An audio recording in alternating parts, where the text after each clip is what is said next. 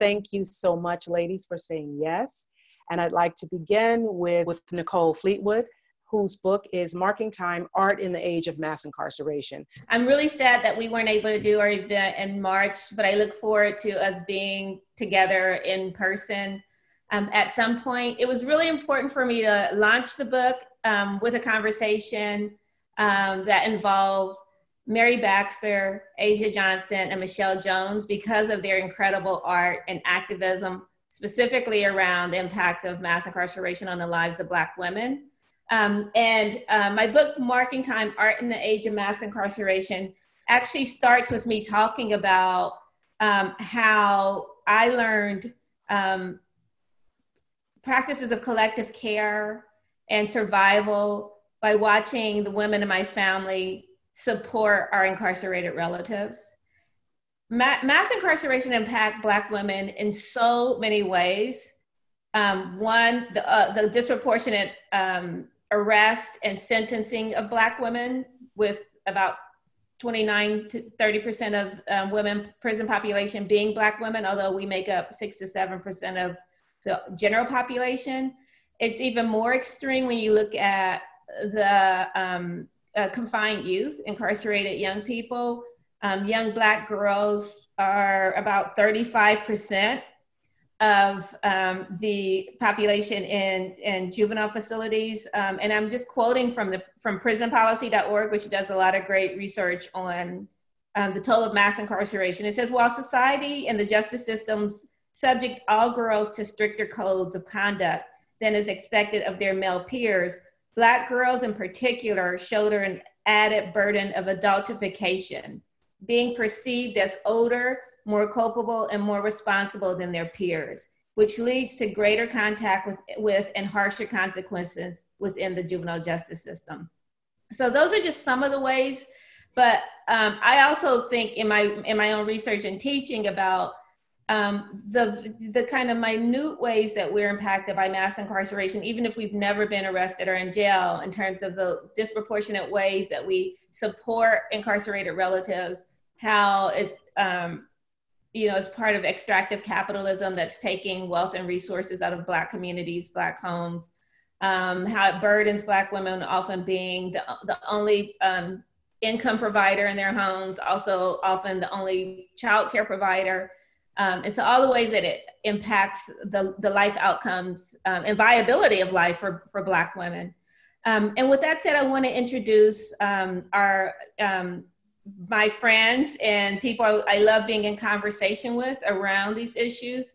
Um, they're all artists, activists, and educators, directly impacted women who have a lot to share and to teach us all. About how we end mass incarceration and how we even move, you know, more expensively to a world without prisons. And we all have kind of different ideas about what abolition means. So I'm hoping we can maybe talk a little bit about that too. Um, but I'm going to do brief um, introductions and then let them tell us more about their work and their experiences. So Mary Enoch Elizabeth Baxter, we've known each other for a few years and we've collaborated, collaborated on a few programs. Um, she is a Right of Return Fellow. She's also a Reimagining Reentry Fellow with the Mural Arts Philadelphia. Um, she is a sound artist, a film artist, um, and, and just does incredible work. Um, she's really active on the scene right now in Philadelphia with um, the national bailout for Mother's Day and also with um, responding to the COVID 19 current, crisis. Asia Johnson lives in Detroit and she is a bell disruptor. She last time we were on a call, to, she couldn't be there because she was at the Detroit jail trying to bail get women out of jail, and she'll tell us more about that work. She's also a filmmaker, a writer, and a performer. And Michelle Jones and I met two years ago in Mexico when we were at a, a research institute together. She had just finished her first year of a prestigious PhD program at NYU um, she's from Indiana. She's currently in, in, Indiana and she's between New York and Indiana these days for research. Um, she's also a writer, a performer, and a visual artist. Um, and a historian who's working on um, a, a, collective history of prisons, of women's prisons in Indiana, working with women, friends of hers who are still in prison. So So we'll start with Mary, then Asia, and then Michelle.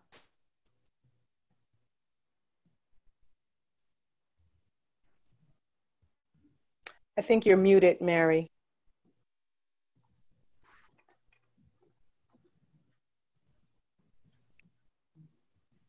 Thanks, Nicole, for those wonderful introductions. Um, I want to give a special thank you to Harlem Stage for, for providing us with this platform uh, so we can talk about this much needed conversation. Um, I've always considered myself an artist. Um, I just didn't have the resources or guidance uh, to nurture those to nurture those talents.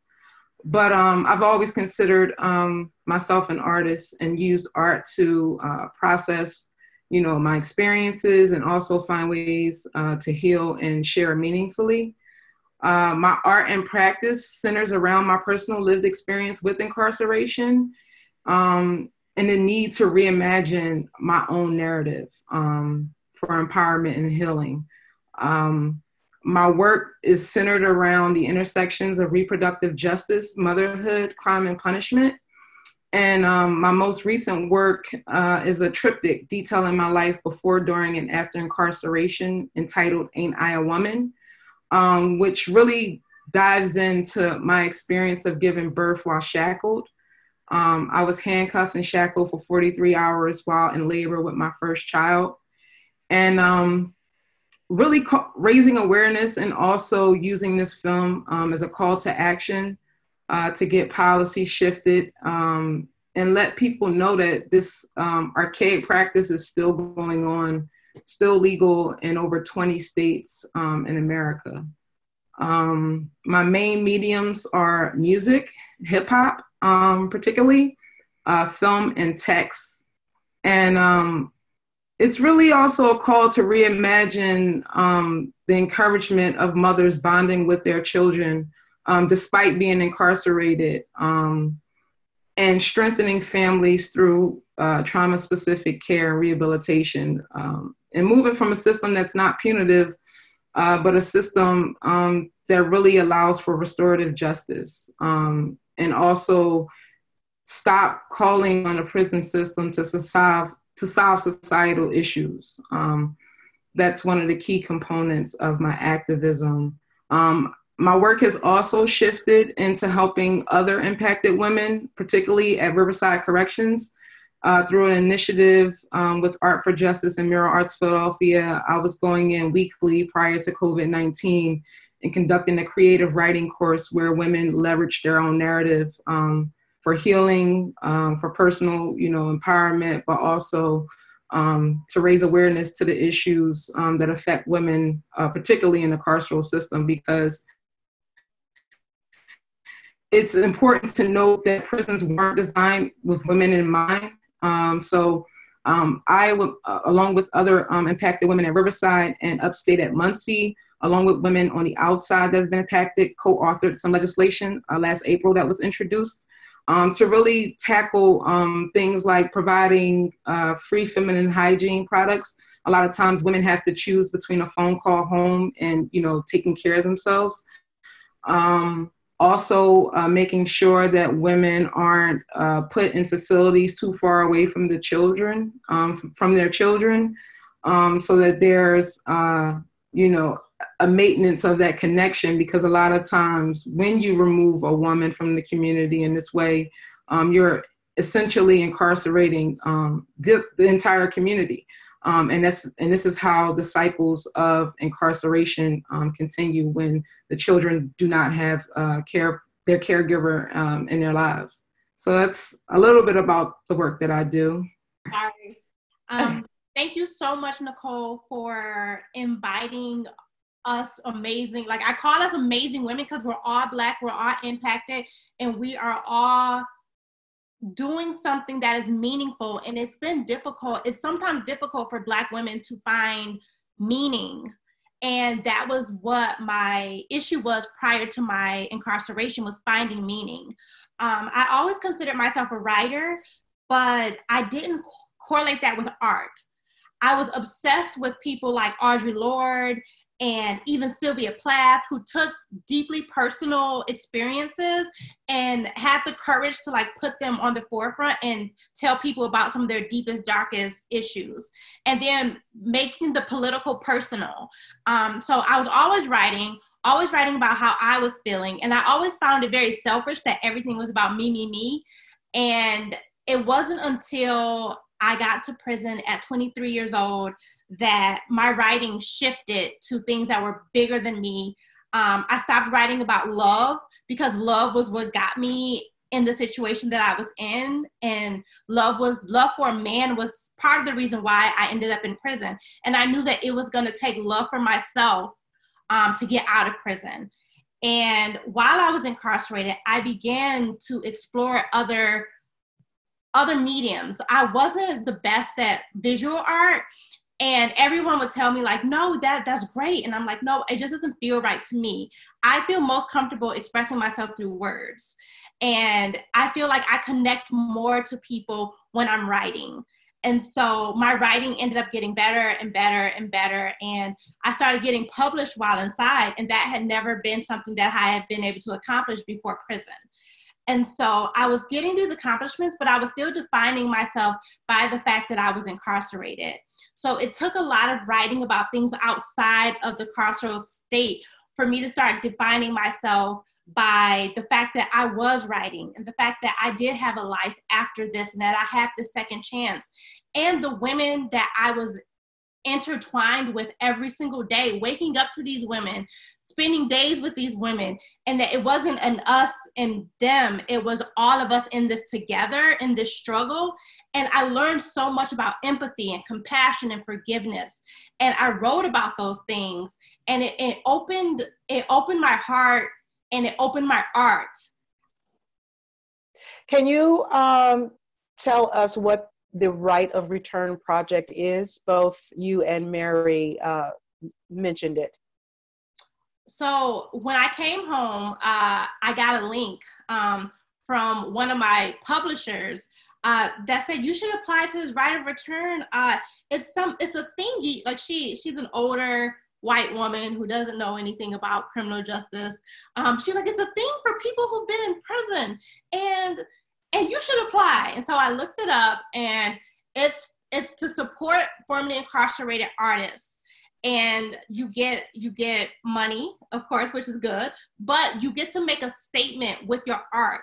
And sometimes we don't have the resources to, like Mary spoke to the fact that when she was younger, she didn't have a family that cultivated her artistry or the money to like go out and buy the materials that you need or books. Like books are so important. And sometimes your, your family can't buy you books or you don't have to if you just got out of prison the last thing you're thinking about is going out and buying a $30 hardcover book. So this um, grant gave us the money to a you know take care of ourselves but also to finance a project that will make a meaningful impact on mass incarceration. So every year they pick six well i think in our fellowship uh, michelle it was six of us and I was a 2019 fellow. You, we got twenty thousand dollars, and with that twenty thousand dollars, I mean, you, you literally can change the world with twenty thousand dollars in the in the realm of mass incarceration and doing something that is going to change hearts and minds and make policy changes and things that are so shrouded in darkness. Um, our projects are shedding light on on something that needs to be in the light. And that's what Nicole's book has done. It's totally torn down a wall between us and them, the world and the people who are inside.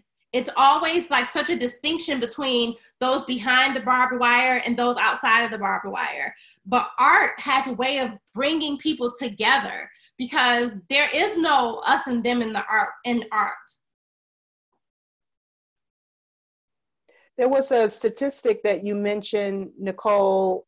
Um, I think it was one in five.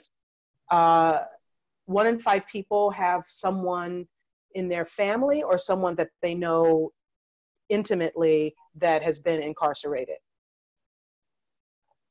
I think your mic is muted. Thank you. Sorry.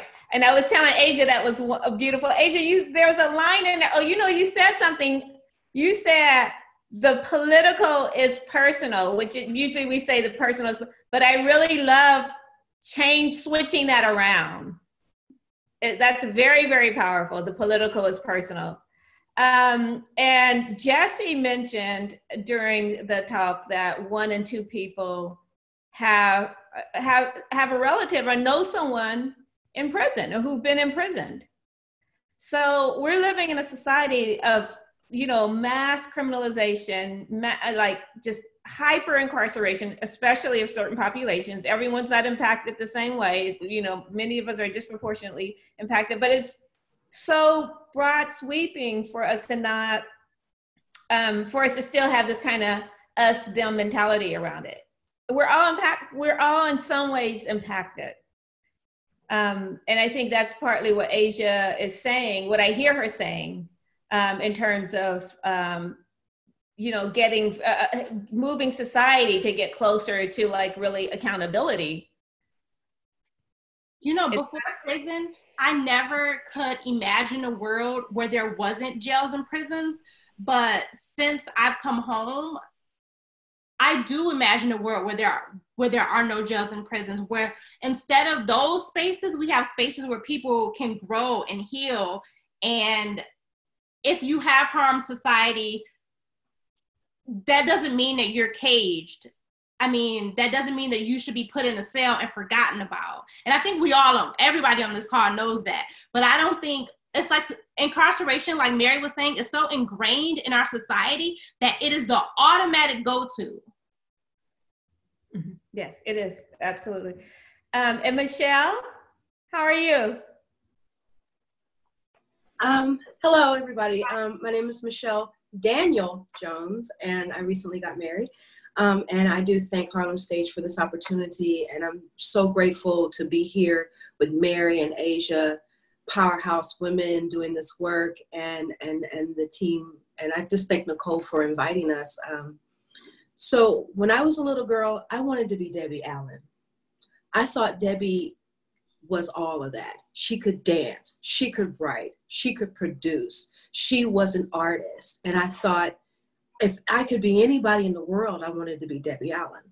And I've always grown up around art. My mother is an abstract painter. She was the first person in my family to get a bachelor's degree from at all, but she also got it from an art school, an art college Herron School of Art in Indiana, in Indianapolis. And so I've always had that energy, that creative spark and spirit around me. Um, and it's all, it's been pretty much how I live in the space. I'm always thinking about things creatively, and it's it's just pretty much from my early foundation. Um, a little bit about the work that I'm doing. Um, first of all, I am a right of return fellow, as you as as the other two wonderful ladies are, and I'm also a reimagining fellow with Mary with Mural Arts, and I'm really excited about the opportunity to kind of take my research that I've done on collateral consequences of criminal convictions, that I've done on stigma, how uh, on weaponized stigma and biographic mediation, and turn those into artistic projects so that they can be shared and embraced by larger audiences. Because one of my main arguments, and one of the things I don't like about academics, is they have a tendency to speak to and write for one another. And they have sort of siloed arguments amongst each other. Yet they have powerful information based on their very detailed research that only gets consumed in the academic sphere. I and with my whole total being, that was one of the reasons why I almost did not want to go to graduate school because of that practice. But I was around some people in my artist community inside prison who helped me think about why it doesn't have to be that way. And so the project that um, uh, I work on several projects, but the one that I would like to talk about right now is the project that I did for SOZE, which is called the Point of Triangulation Project. And the whole prop, the whole premise of that is that I was creating something that wasn't for the consumption of formerly incarcerated people or people who had been in prison or or highlighting people who had been in prison as, as, a, as an object. The entire audience, the person I'm trying to get to with the Point of Triangulation Project, is the observer. is the person who is able to impute, stigmatize, weaponize stigma against formerly incarcerated people. And so if you can imagine a triangle, on the left side of the triangle, I created, um, uh, we took photography of people in carceral clothing, you know, white, standard white t-shirts, sweats, and, and white shoes. And on the right side, we took photography of people in their places of power with their children or with props or whatever they thought was that totally embodied who they were.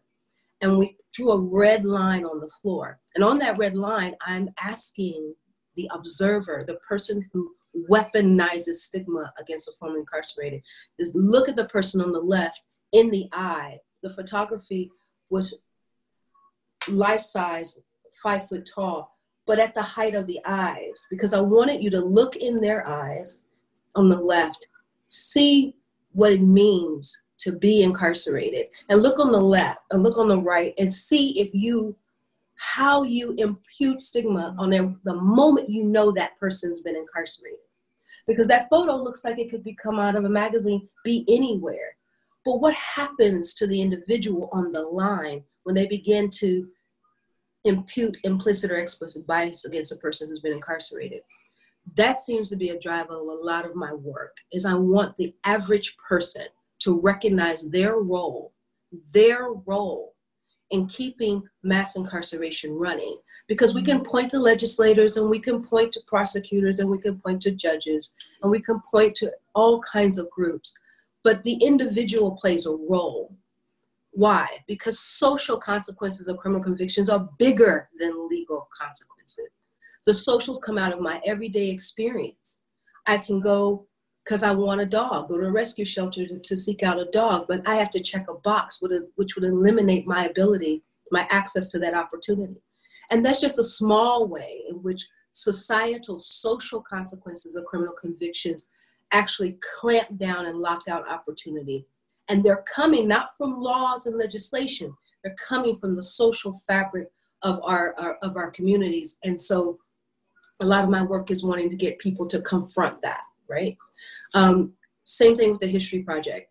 In the, inside, we got a hold of primary source data of the first prison in the United States, which would happen to be the prison that we were incarcerated in.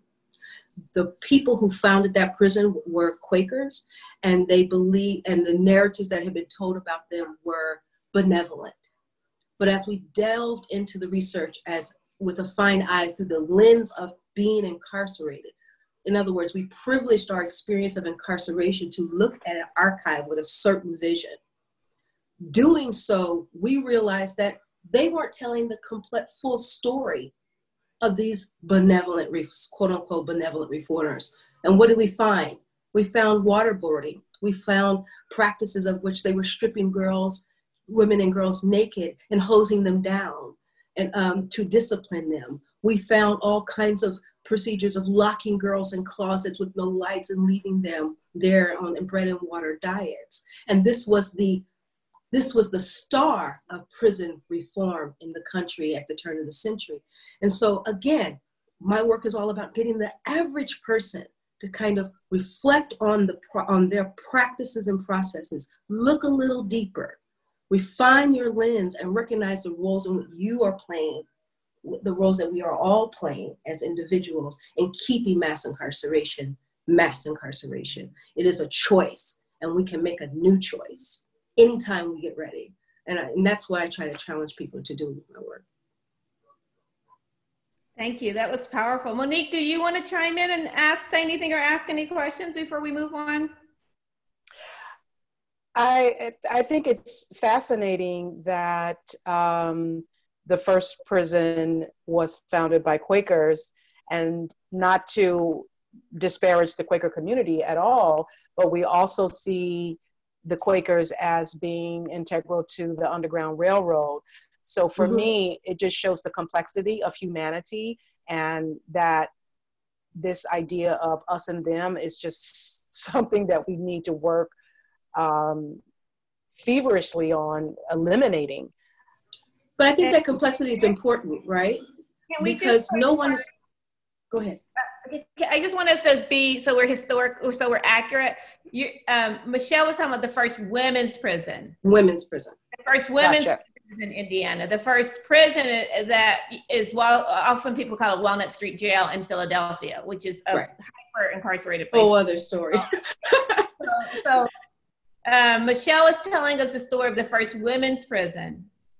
And the Quakers were considered modern reformers, progressive in every sense of the word. That was going to be less barbaric than the ways that people have been disciplined previously, right? These are all the kind of ideals that go into it that in reality we know.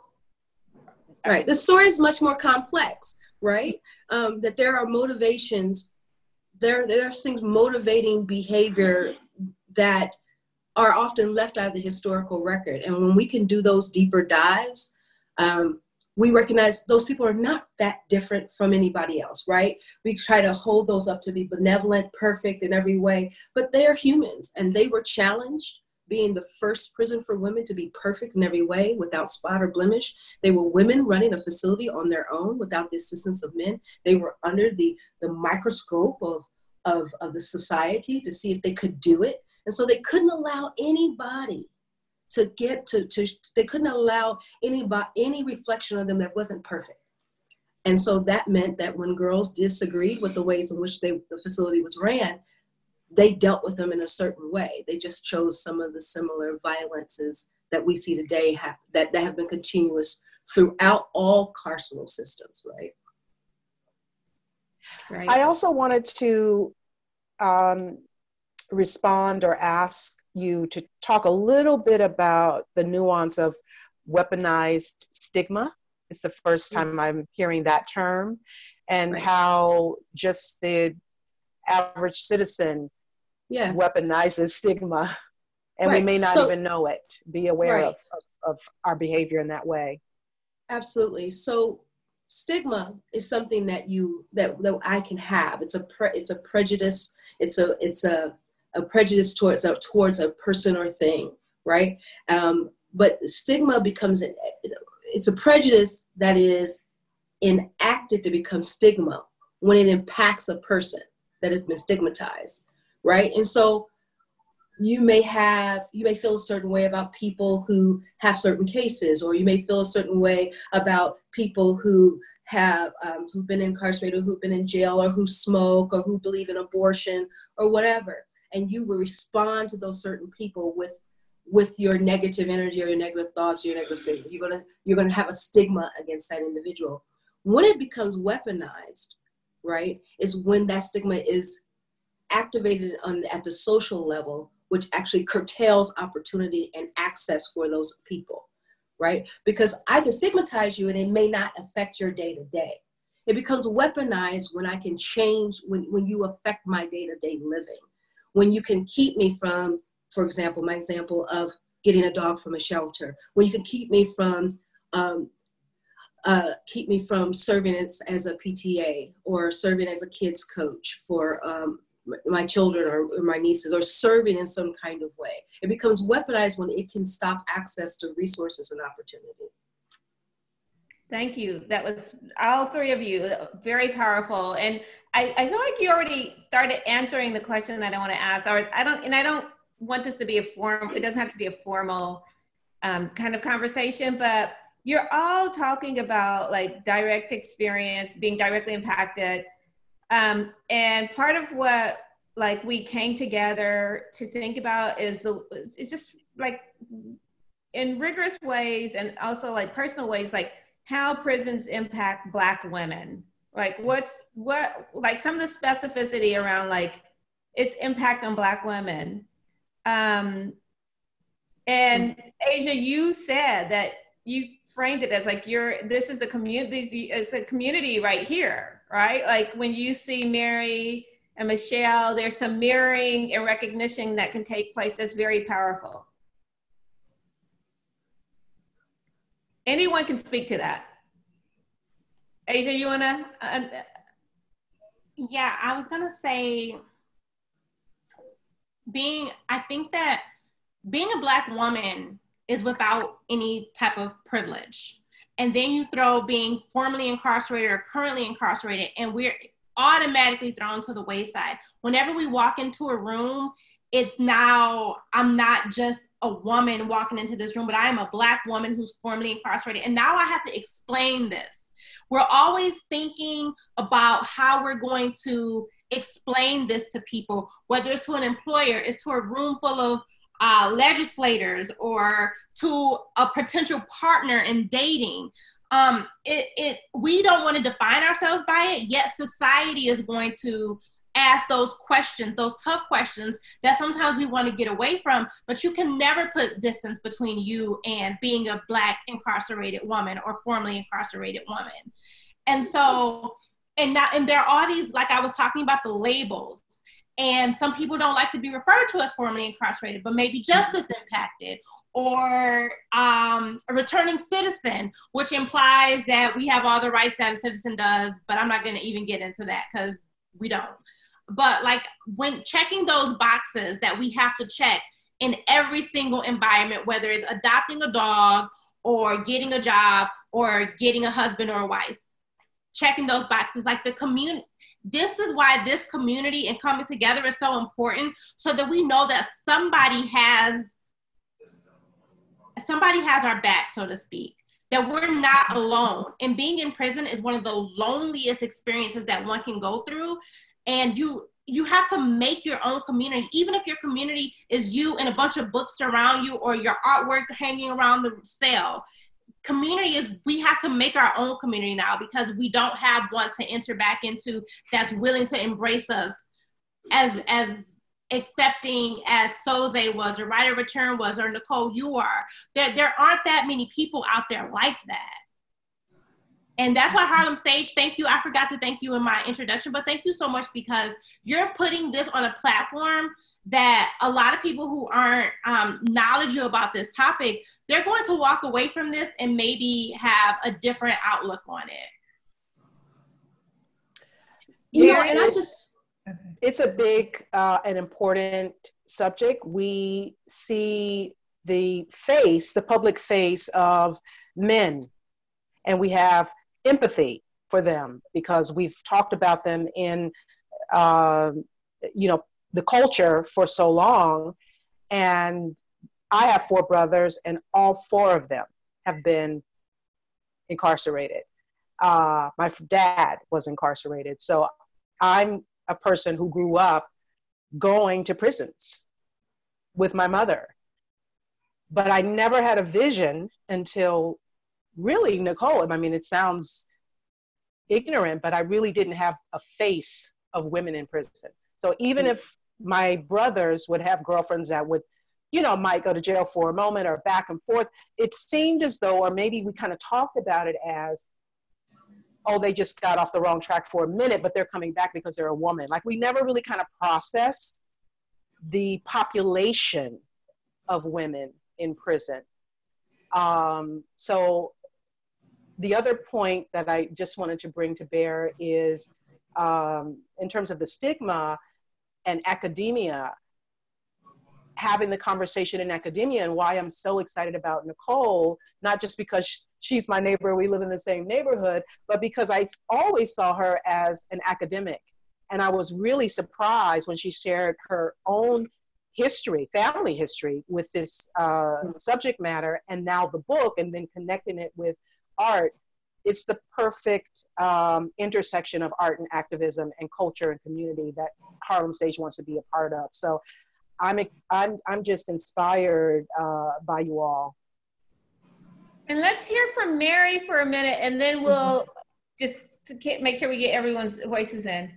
Yeah, um, that's pretty much how the National Bailout Org um, came to be was out of this need to protect and advocate um, on the behalf of Black women that are incarcerated. Um, to Nicole's point earlier about the, the criminalization of Black girls in childhood and the rates of incarceration being higher and victimization um, being higher, and the way that society responds. Um, a lot of times, um, black girls aren't allowed to be children um, and this this this weight um, that you have to do everything right the first time there's no leeway to make mistakes um, and we're pretty much an afterthought, especially when you factor in just the the patriarchal society that we live in. Um, so we we're being oppressed for our gender, but as well as our race, um, which leaves us very vulnerable um, to these systems.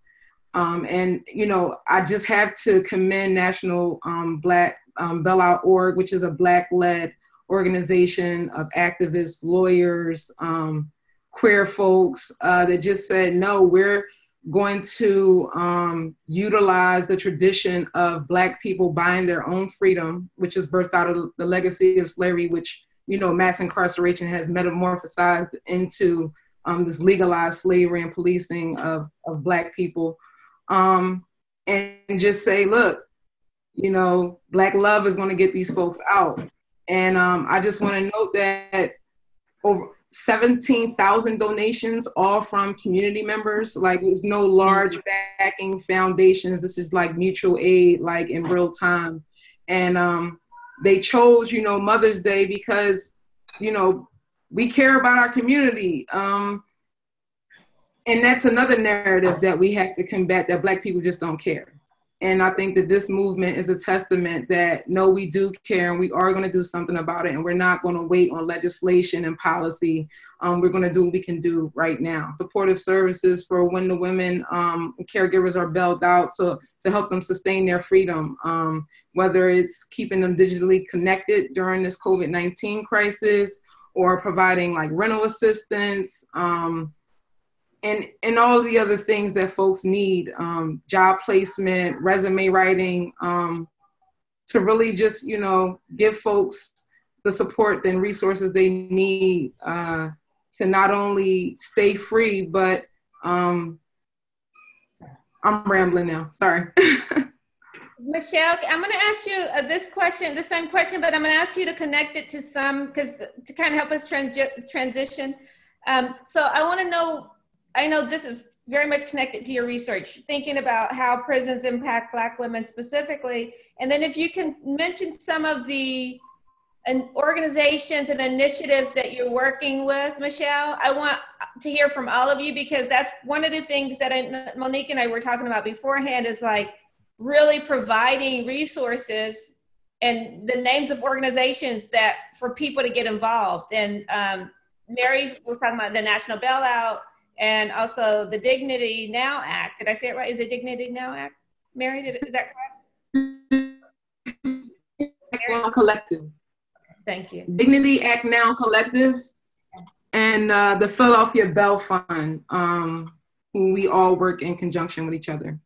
So, can you, uh, Michelle, tell us about some of, because I know you've started, you've co founded some initiatives also. Right. Um, so, um, I wanted to find this for you. Okay. Yeah. So, okay. Yeah. So, to Asia's earlier point and Mary, I think one of the things that we also have to combat as Black women, incarcerated and formerly incarcerated, is this tendency to make to to to Black exceptionalism.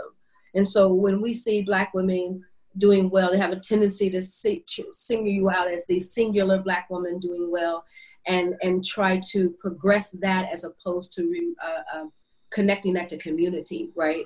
Um, I never allowed that to happen. I still I have people on my phone list when we call, and I stay connected to my community, my incarcerated community of women. And then as soon as I got out, I found my community in Indianapolis, and I built a wonderful community of formerly incarcerated people in New York um, through Beyond the Bars. But um, I think it's important that we stamp down that narrative that just because you see few black women in that space does not mean that you, that few black women are the only women who are capable right? We need to emphasize that there's been an act there's active processes that deny access to resources and opportunity. Because if you gave people opportunity they would show up right and um, I come I come I come back that a lot because people in, in my situation they try to act as if I'm a, my myself and some other folks are like golden unicorns, and that we're the only people that exist. And so I refute that, and I also encourage everyone else to do what Mary and, and Asia are, and, and and and Nicole always emphasizes that we are a global, we are a community, a global community. And with that said, um, the organizations I'm currently working with now is Justice for Women COVID Task Force, um, um, based in New York, and uh, we're meeting monthly, uh, weekly to work on strategies to, and women are in danger. Um, and, and there are a couple women on ventilators right now, and there is need to get involved.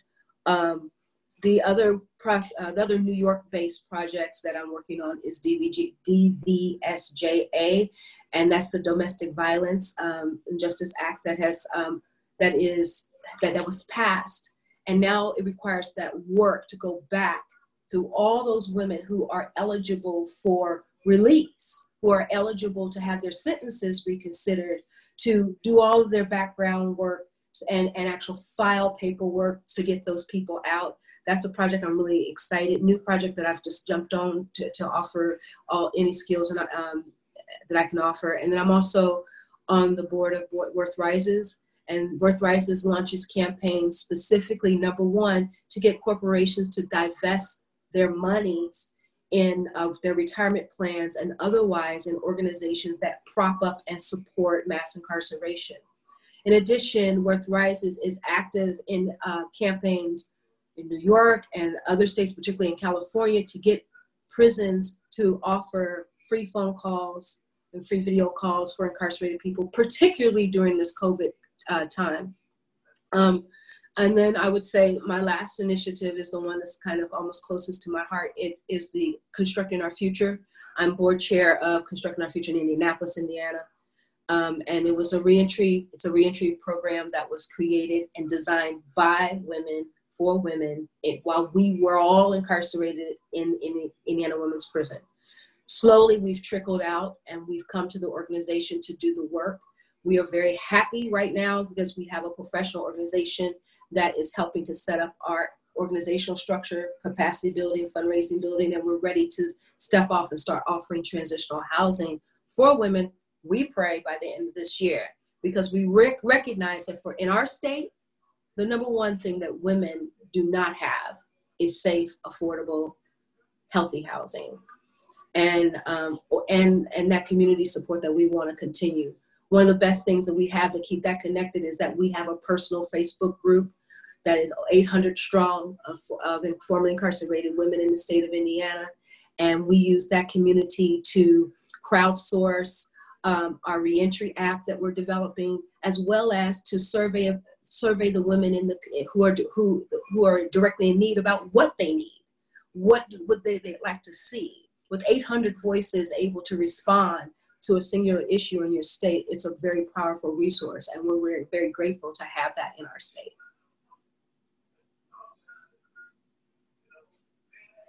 Nicole, you're muted.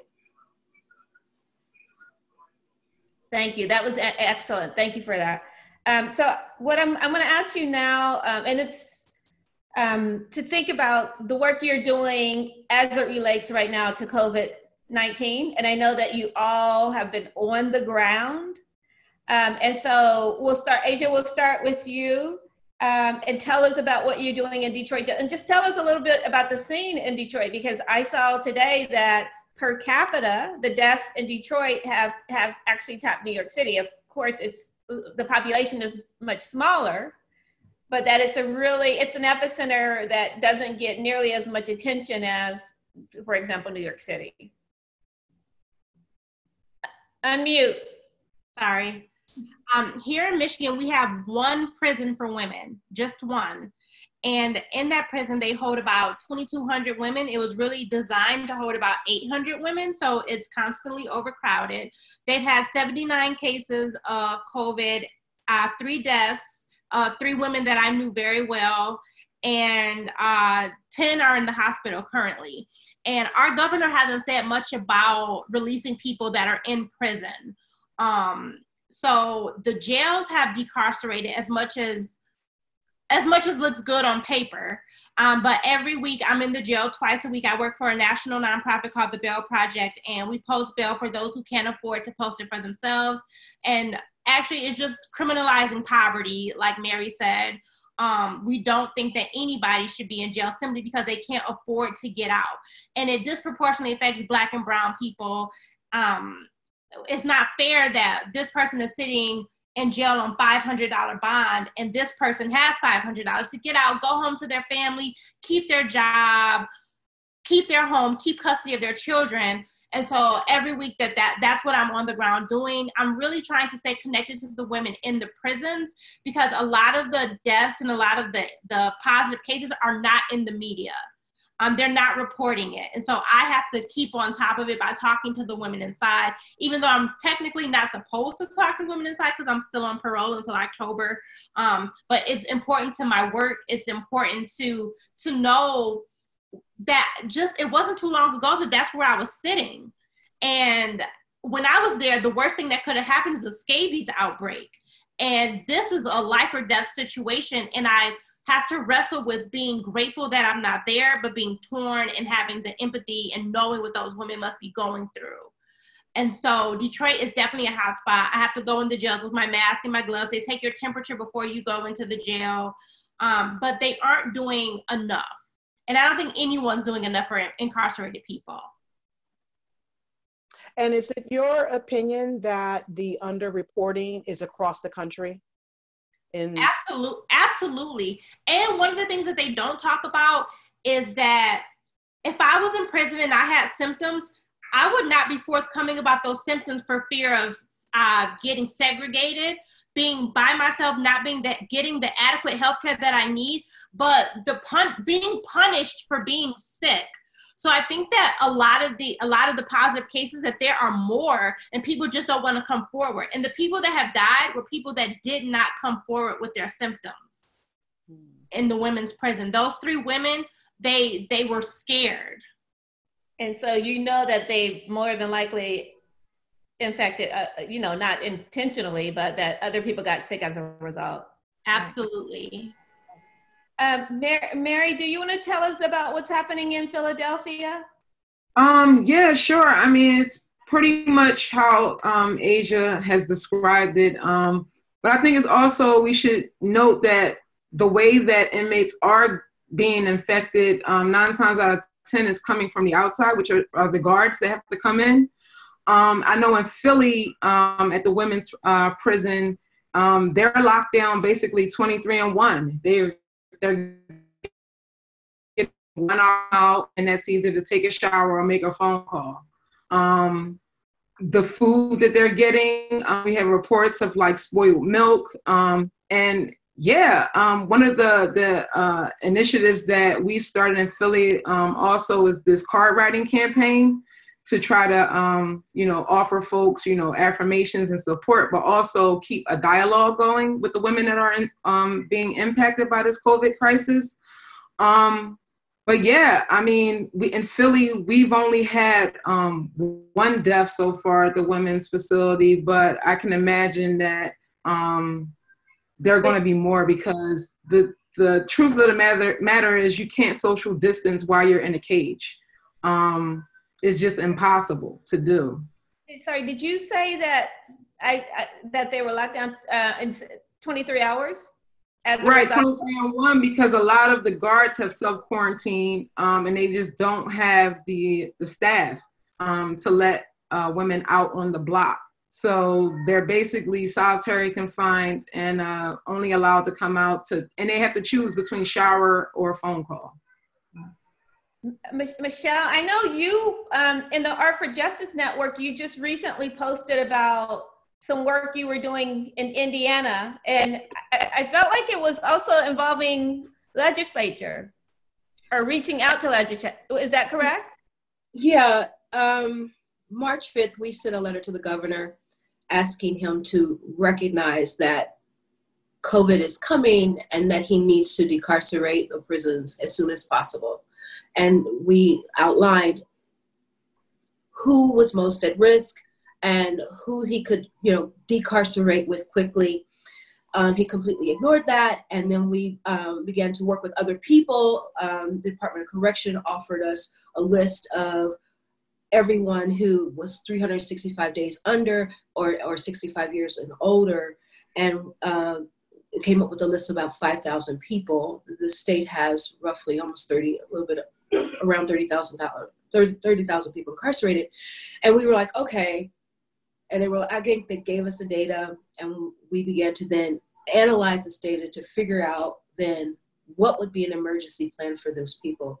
And we broke out into teams and we stayed up days and we figured out how we could quarantine those people if they let release them before we sent them home, before they went to a location.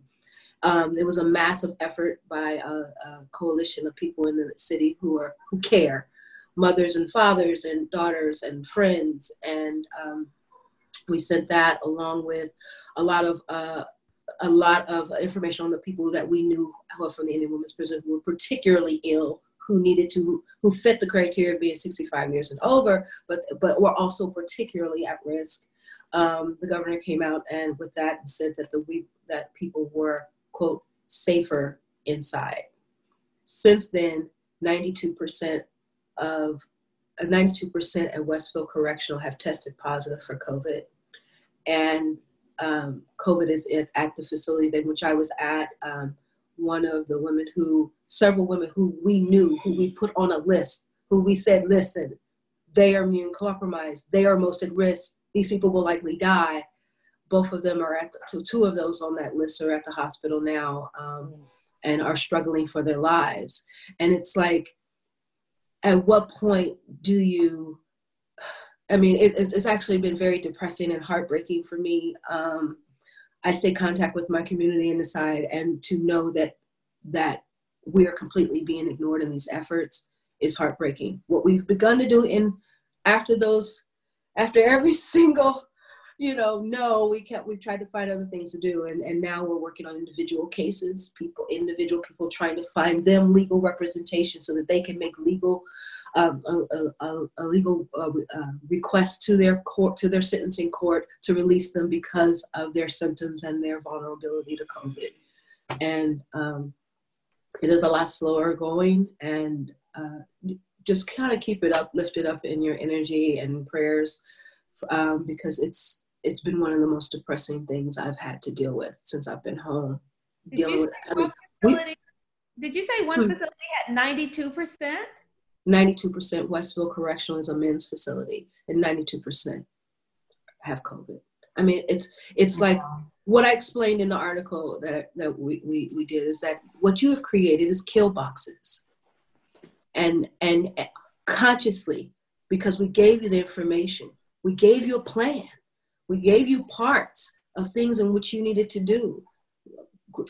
Yeah, I mean, which is it's interesting because um, you know the reasons you listed should be reasons why folks should be you know freeing folks but at the same time they're also using that to not free people mm-hmm. especially now that um, by saying the facilities that have it right wow. especially now that it's inside they're like oh it's mm-hmm. inside now so we can't let anybody go for fear that they will come out and in, infect other people mm-hmm. but we had a quarantine plan we provided them with that Marriott come into transitional housing. No one in yeah. them, right? And among other things, we found Catholic retreats. We found all kinds of places and spaces where people could be quarantined for two weeks, all over the state. So it's been frustrating. It's it's it's just it's it's devastating, and it didn't have to go down this way. I period. Like in prison or outside, like New York, we didn't i mean it didn't have to go down this way right, right. and it is showing racial capitalism in its kind of raw form you know about the disposability of certain lives absolutely the disposability absolutely um, i want to hear from you all as we wrap up and thank you for this time just if, if there are i know there's mother's day coming up and, and people doing um, interventions work specifically around mother's day um, and or any other ways that people who are listening to this um, can get involved, like concrete ways, especially because it's so overwhelming. I think a lot of people tune out because it's just so depressing and it's so overwhelming. And I'm not saying that that absolves them, right? What are some really specific ways that people can get active or can help or can contribute? Thinking about what like we were talking about mutual aid societies and other um, other forms of, of collective care. I think that donating in, and it makes it hard to ask for donations, especially when people aren't working. Um, but even if you don't have the money to donate to like the National Bailout or the Bail Project or any of Michelle's organizations that actually need the funds to continue their work, just calling your governor, calling your mayor, calling your prosecutor, and signing on to these different petitions, making your voice heard. Um, don't be silenced um, during this because the silence is what's going to keep us in this situation and keep our, our communities in prisons and dying inside. Um, so even if you don't have the money, I say just making your voice heard, making art, um, just doing something for forgetting about self for a while and thinking about people who have it worse. Because I hear a lot of people like, I'm so ready to go to out to eat. I'm so ready to go to the bar. But people inside are struggling. I'm ready to go out to eat too, but I go into that jail every week and I know that they are dying inside. So just like thinking outside of ourselves and putting our money where our mouth is and making our voices heard. Asia, can what? Oh, just can you repeat? I'm sorry. Did, can you hear me? Yeah. Okay, I didn't know if I was muted. Can you repeat the name of the organization that you work for, just so people? I work for I work for the Bail Project, and that website is bailproject.org. And also, there are many um, writing writing centers around Detroit that are struggling right now. Um, there's one in particular that I got my first fellowship at called Room Project, and they are a writing space for women and non-binary writers. And they take special care of women of color, giving fellowships to four women every quarter and they aren't getting the small business loans or any of the, the government assistance that they need to keep going. And the members of the space, they are unemployed, so they can't give their member fees. So donating to those uh, types of organizations are is also important. What's the name of it again, the writing group? It's called The Room Project. Room Project, okay, thank you. Mm-hmm. And we'll be sure to post all of this information, these resources on our website so if you can just email them to me, we'll make sure that they're posted because I too, uh, after your um, conversation the other day, Nicole, um, was left just as I am now, um, just energized to do more. What can I do? And we know that everyone has uh, challenges, that, well, most everyone except the 1% has challenges around finances at this time However, there's so many other ways to be a support. And so I appreciate your providing information and links so that we can share it with our community as well. And Mary and Michelle, can you also just kind of list or enumerate ways that people can be? Yeah, so um, folks that want to support um, specifically Black women, can donate to nationalbailout.org. Um, um, they also can um, donate to phillybailout.com um, for the Black Mamas Bailouts, uh, trying to get as many uh, Black caregivers, mothers out uh, before Mother's Day. And you also can support the Dignity Act for PA.org.